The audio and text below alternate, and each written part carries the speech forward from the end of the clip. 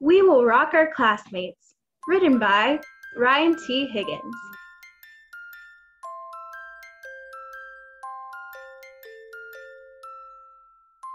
Penelope was the only T Rex at her school. Sometimes that made her stand out a little, and sometimes Penelope's classmates didn't see her at all. They just saw a dinosaur. Hey, you want to play cops and dinosaurs? You can be the dinosaur. Well, I was hoping to play dentist. Great! We'll be the dentist. You'll be the dinosaur. Um, have you been flossing? William Yamamoto's backpack is stuck in your teeth. Dinosaur or not, Penelope loved to play. She loved to read. Good night, Tasty Goose, all wrapped in baloney. Good night, Tasty Goose, with a side dish of pony. Mmm, ponies. And she loved to draw. Wait, I don't eat you. I don't even have any mustard. But the one thing Penelope loved to do more than anything else was to make music. She loved to sing, she loved to play guitar. Penelope loved to rock and roll. So when Mrs. Noodleman told the class about the school talent show, The school is going to be having a talent show. Penelope was excited. She was also nervous. She wanted to rock her classmates, but could she do it? Also, the sign up sheet was right next to Walter, the ferocious goldfish. Blub. Penelope took a deep breath. She had to do it. She tiptoed past Walter, then quickly wrote her name on the sign up sheet with her bravest purple marker. After school, Penelope shared the big news with her parents.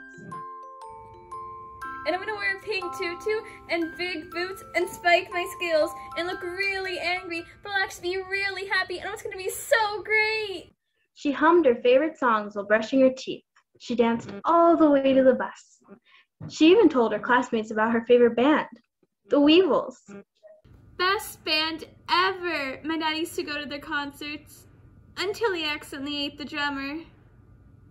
At last, it was time for rehearsal. Can dinosaurs even play guitar? On stage, Penelope froze. She could not sing. She could not play guitar. Penelope worried that dinosaurs could not rock and roll. Penelope was very quiet on the car ride home. She hardly ate anything for supper. Are you sure you don't want more penny pie? You only had 52 burgers. The next day at recess, Penelope sat alone on the bench. She would not play hopscotch.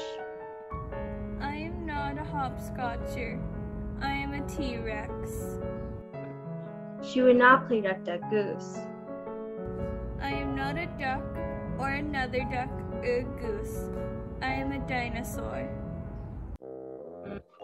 At the end of the day, Penelope marked her name off the sign up sheet with her saddest blue marker. Blub. When Penelope got home, she went straight to her room. Daddy Rex came in to talk to her. Is everything okay? I can't be in the talent show. I am just a dinosaur. Ah, I see. Come with me. Take a look at this family photo album. This is your Uncle Frank. He was the biggest kid. Oh, and here's your mom, finishing her first marathon. And here's me, the world hamburger eating champion. I ate 5,053 burgers with ketchup. You see, being a T-Rex is only part of who you are. You, for instance, kind and caring, creative and adventurous. And you can be anything you want to be. The next day, Penelope marched back over to the sign up sheet. She looked straight at Walter Blub. and almost lost her nerve. But Penelope's classmates had a different idea. Can we play with you? In your band? Please, Penelope. Come on, Please, Penelope. It'll be so much So fun. Please. Please. And that gave her just enough courage. On the night of the show, Penelope was really excited and also really nervous. She peeked from backstage to try and find her parents. When the curtains opened, Wilhelmina Amato and her amazing animal sounds took the stage. Roar! Howl! Chirp! Bow! Tweet!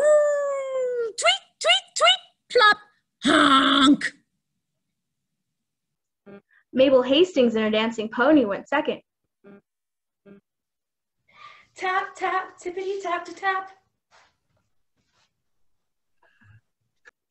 followed by the Stegman brothers' synchronized swimming mime act.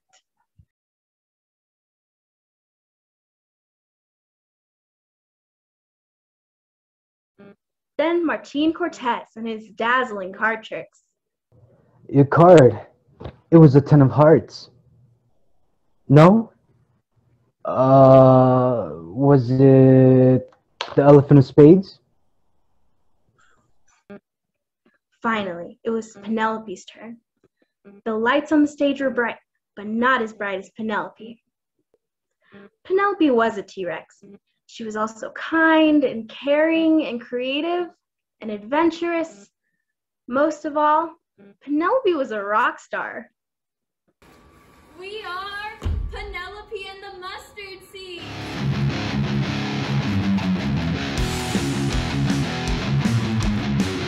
Blub, blub, blub, blub, blub, blub, blub, blub, blub, blub, blub, blub, blub. Blub, blub, blub, blub, blub, blub, blub, blub, blub, blub, blub, blub, blub. Penelope and the Mustard Seeds came in second place, just behind Mabel Hastings and her dancing pony. That was okay with Penelope. She loved ponies.